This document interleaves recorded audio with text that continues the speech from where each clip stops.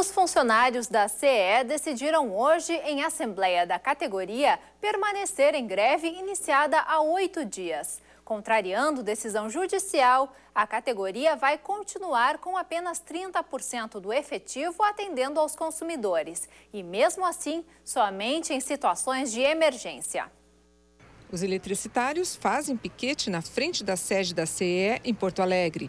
Eles não acatam a determinação do Tribunal Regional do Trabalho, que na última sexta-feira impôs a frequência de 70% dos servidores das áreas operacional e de teleatendimento ao cliente.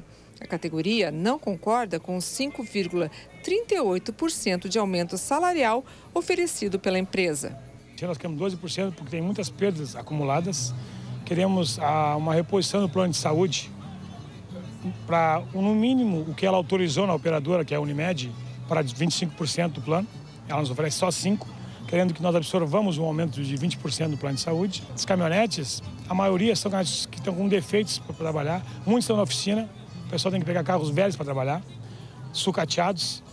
Lá no teleatendimento, tem problemas no piso, que já houve inclusive torções de tornozelo, porque a precarização das condições vem gerando DORT, LER.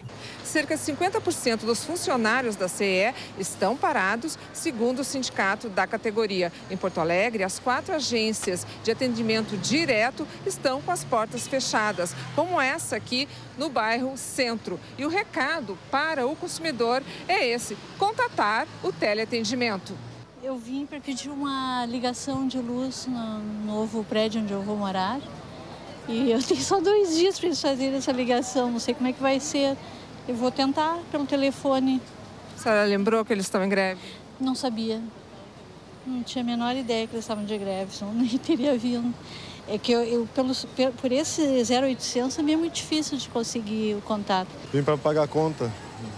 Tava... Tá fechado. Pois é, me, fechei, me tiraram meu relógio hoje, que eu estava com a conta atrasada, os correios estavam em greve, não recebi as contas me tiraram o meu relógio, vim fazer o pagamento aqui e agora eu não sei como é que eu fico. Agora tem que contatar o teleatendimento.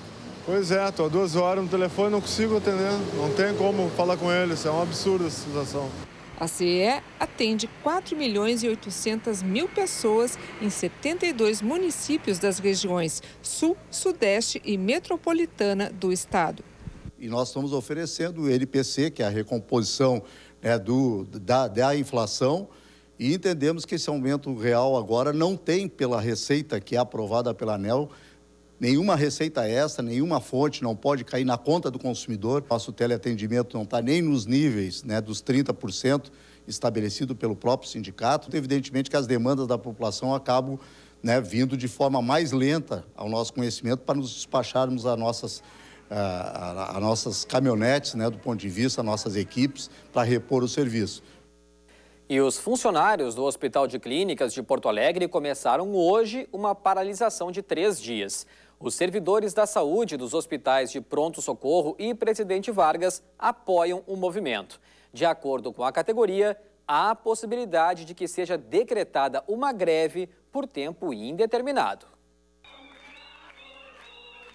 Entre as reivindicações está o fechamento do acordo coletivo do ano passado. Segundo a direção do Sim de Saúde, 70% dos profissionais do Hospital de Clínicas se encontram em estado de greve. Mas os atendimentos essenciais não estão sendo prejudicados. Caso as negociações não avancem, eles prometem fazer greve por tempo indeterminado. Não estamos deixando de atender nenhum paciente grave e nós estamos lutando pelo salário digno que até agora a patronal não nos recebeu e está oferecendo fora da realidade do dia a dia. Estão oferecendo um e meio e nós estamos pedindo 21,87. Ou a patronal nos chama para negociar ou nós, a saúde vai parar.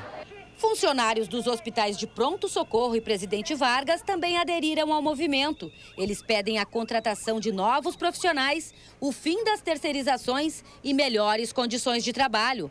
A falta de recursos humanos no Hospital Presidente Vargas é gravíssima, a ponto de termos a sua unidade de internação pediátrica no hospital que é referência em atendimento às crianças de todo o estado completamente fechada por falta de trabalhadores. O Sindicato dos Hospitais de Porto Alegre diz que o reajuste salarial de 21% pedido pela categoria dos profissionais da saúde não está bem fundamentado. Ninguém sabe qual é a composição desses 21, porque eles não abriram o que compõe 21%. Então, para nós, se nós somarmos o NPC de abril de 2013, NPC 2014, mais o que nós estamos oferecendo de ganho real, vai chegar muito perto desses 21. Nós estamos muito próximos de, de fecharmos. Talvez algum ajuste, alguma coisa que deva ser feita, mas eu acho que se não fecharmos hoje, durante essa semana, a gente vai ter esse resultado. O governo gaúcho disponibilizou mais de 45 milhões de reais para incentivar a produção científica no estado. O anúncio foi feito durante as comemorações do aniversário de 50 anos da Fundação de Amparo à Pesquisa do Rio Grande do Sul.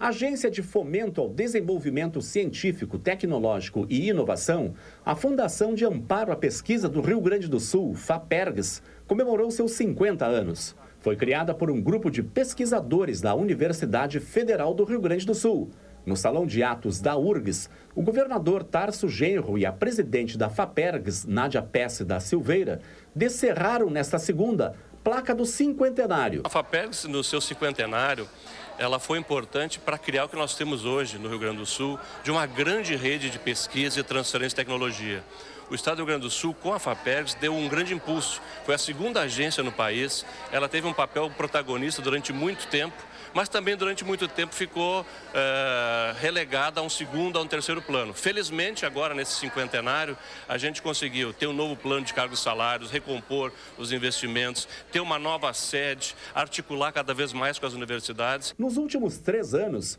a FAPERGS apoiou a inovação e a pesquisa no Estado, com 325 milhões de reais. Destes, 180 milhões vieram do governo gaúcho e o restante da CAPES e da FINEP. Para marcar seus 50 anos, a FAPERGS lançou nesta segunda novos editais de fomento à inovação. 45 milhões de reais que se destinam basicamente à formação de redes de grupos de pesquisa, auxílio a recém-doutores, pessoas que estão fixadas no Rio Grande do Sul iniciando sua carreira, pesquisadores gaúchos em geral e outros editais em convênio com a CAPES. Um deles é bastante interessante porque ele é o financiamento de estudantes de escolas públicas do ensino fundamental através de grupos formados com pesquisadores pesquisadores de universidades e professores desses alunos.